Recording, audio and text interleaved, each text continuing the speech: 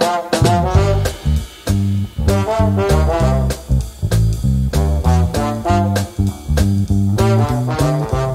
everyone, it's Kenny from Drawing with Us here with another round of cartooning sessions for Moonee Valley Libraries.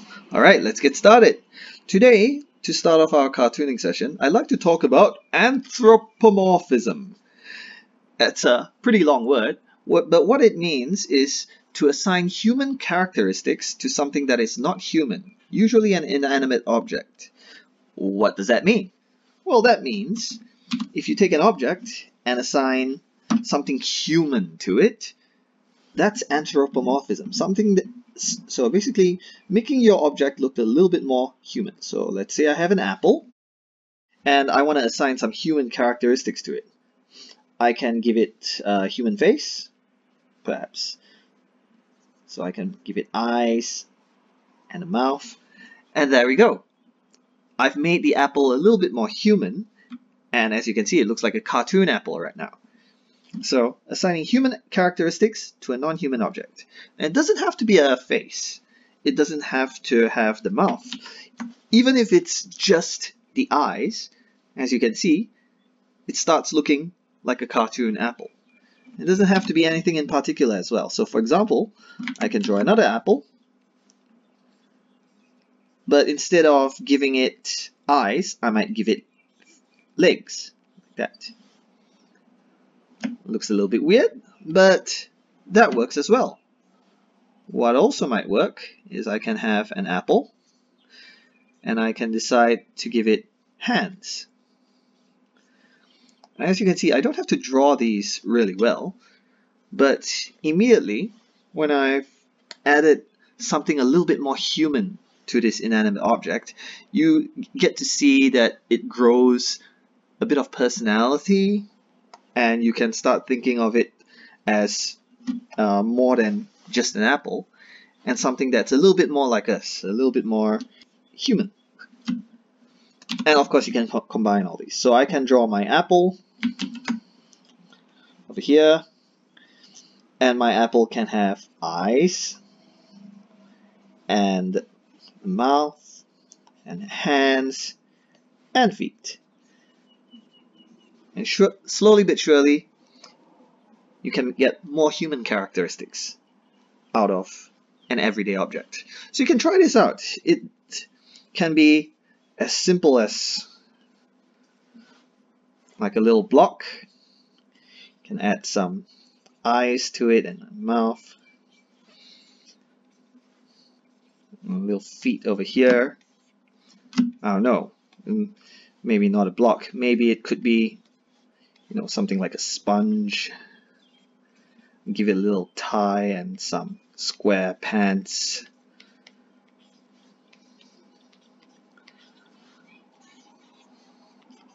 And a kind of goofy face and looks like that.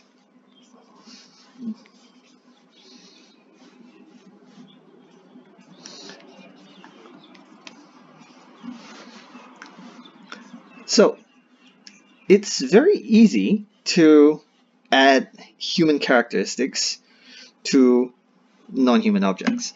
So as an example, um, you can take a bunny. So they can actually be living objects like other kinds of creatures. You can take a uh, take a bunny and you can draw a bunny like a bunny. Or you can take this bunny and you can make it stand up like a human.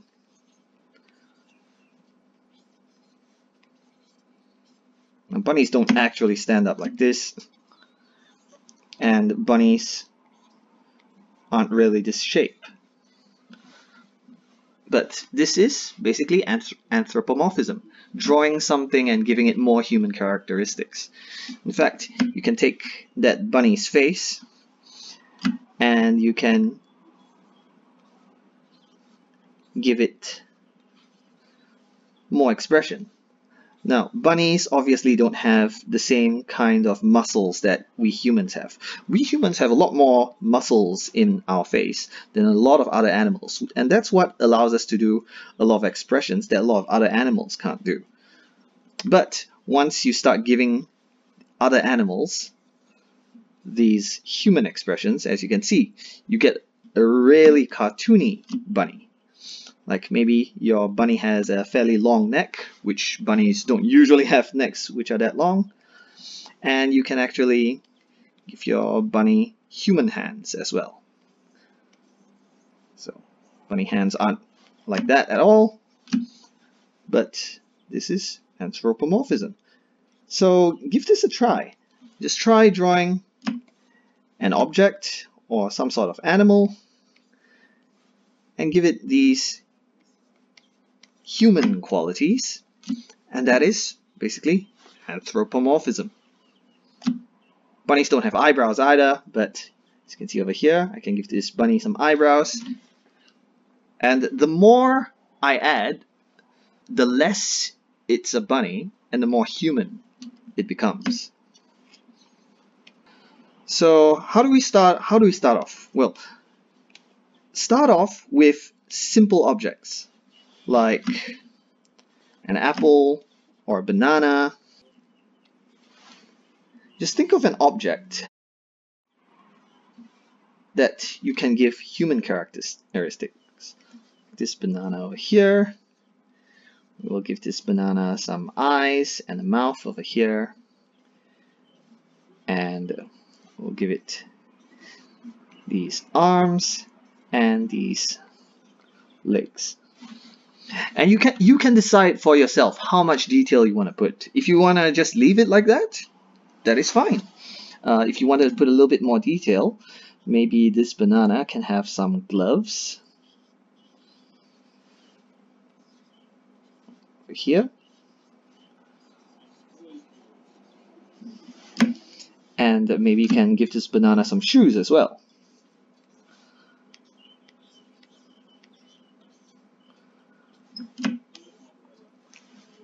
You go. And you can look for all sorts of objects around your house to see what you can give these human qualities. And you'll find different objects will very naturally take on different qualities depending on the shape of the object. So as an example, if I drew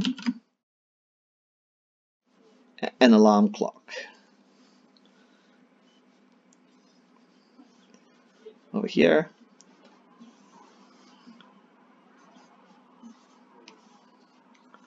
so two bells up here,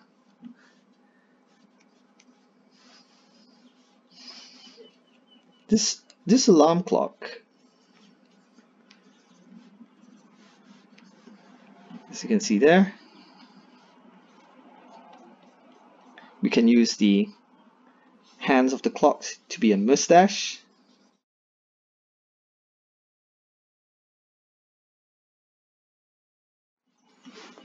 It's already got a very different personality to the banana.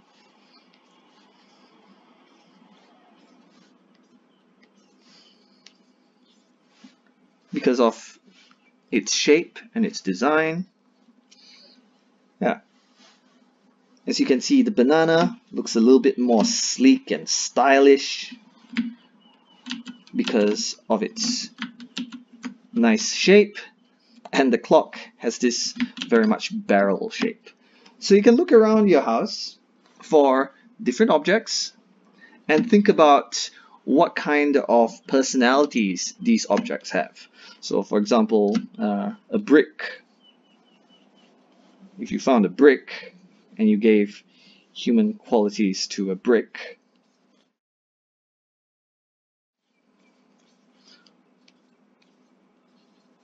you'll tend to end up with something with a little bit of a different personality Oop. to your clock or your banana.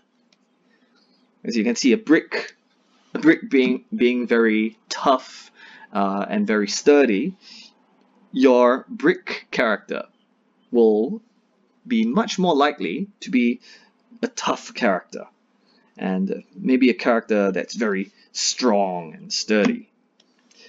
Uh, on the other hand, you might have something like a bottle, and there are many different kinds of bottles. So you might have a bottle that looks something like this. As you can see, that's a very curvy figure.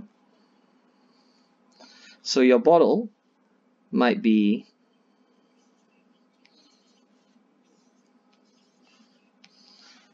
a character that's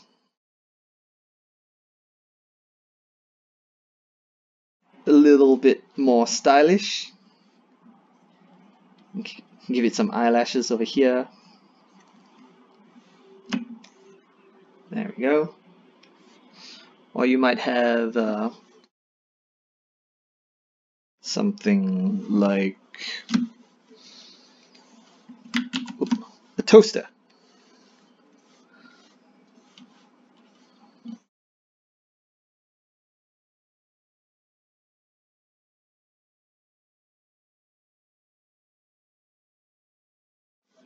And you can start looking for parts of the object that look like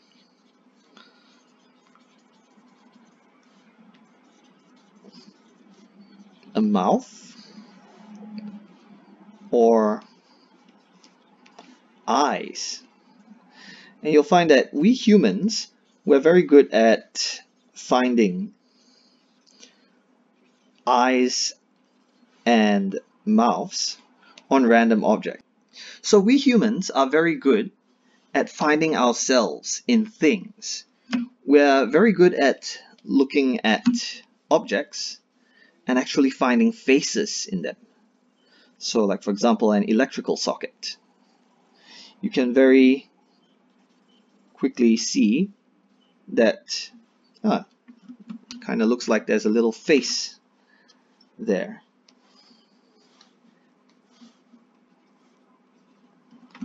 There we go. All I have to do is add some little round bits there.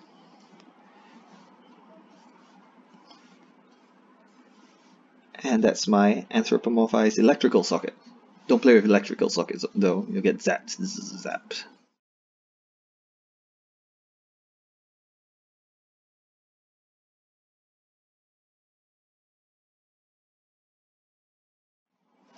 So find objects, find different shaped objects and try just adding some eyes to them. Add, add some hands, add some feet to them and see what and see what you can come up with. There'll be a lot of uh, uh, there'll be a lot of interesting objects which you you can actually turn into cartoon characters. So for example, and for another example,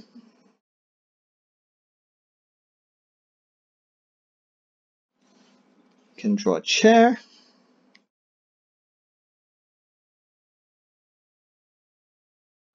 And the chair already has parts which look like legs. I probably don't need to draw legs on this chair, but I can draw some arms over here.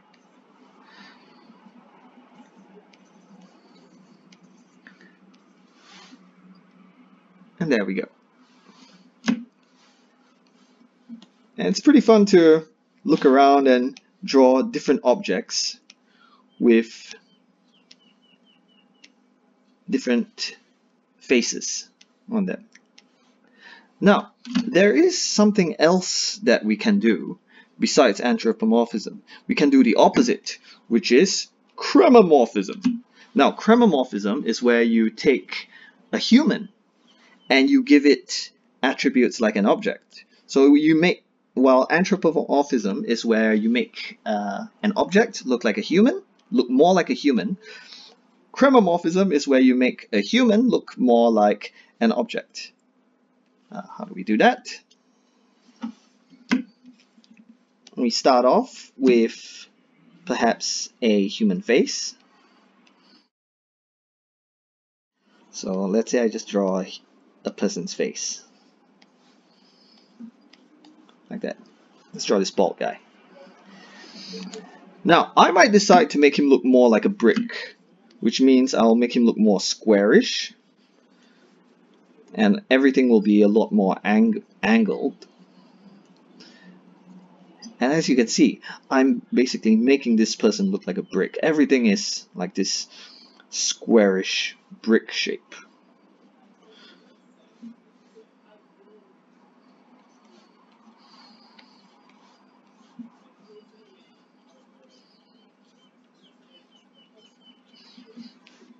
There we go. So, on the other hand, I may not want to make him look like a brick. Uh, maybe I want to make him look a little bit more like a banana. So I can give his face more of this banana-like look by making everything curved the same way a banana is curved. So uh, as you can see over here, give him this long banana chin. And oh, hmm, well, if I draw his head like this, human heads don't really look like that. But I can draw his hair looking like that. So I can give him hair that looks a little bit like a banana shape. So this is another thing that you can try out. So feel free to try doing some drawings of people and just think of an object that they can go with. Uh, be they bricks or bananas or other things. So you've heard of uh, giving an hourglass figure to a person.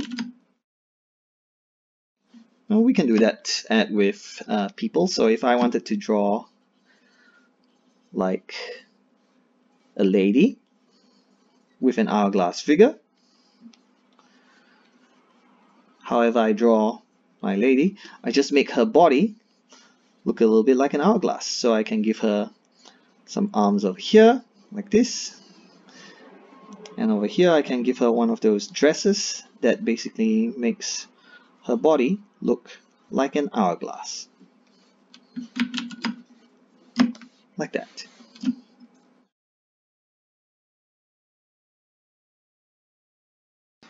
So there are a lot of other things that you can do. You might have uh, heard that there are designs of dresses that are called mermaid dresses. Now the mermaid dresses are so called because they make your character's body look a little bit like a mermaid.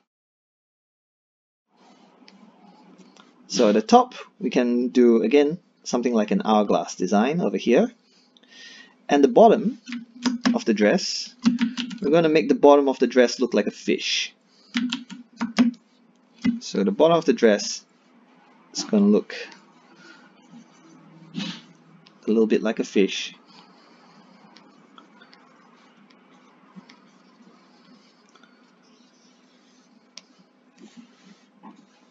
Like that.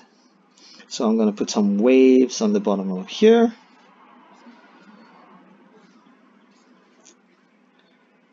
And have my dress like that. So this dress is known in some circles as a mermaid dress. Whether you want to put the scales on there is another is another thing. There we go. So we have anthropomorphism, making your character an object that has human qualities, and we have chromomorphism, making a person uh, a human that has qualities like an object someone who might look like a banana face, uh, a girl who might look like a fish, and there are many other things that you can do to create interesting characters. You can draw cars.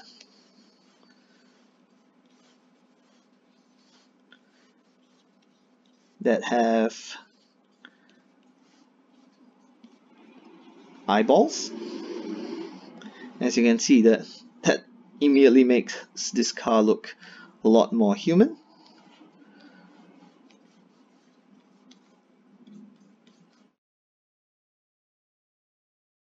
Some people like to put the eyeballs up here on the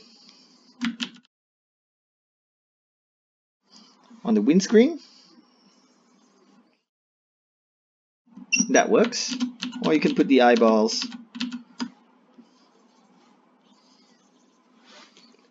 on the lights. Or you can make the car transform into a robot. That is also a form of anthropomorphism.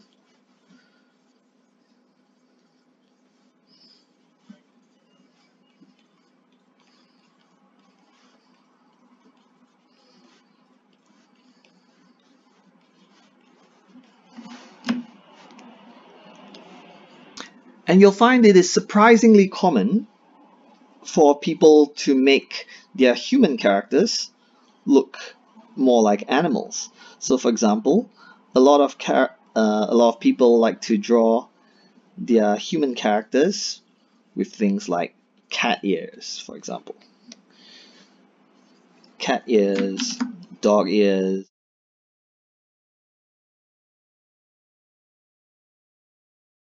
and you can have your character wear gloves. They are like cat paws for example.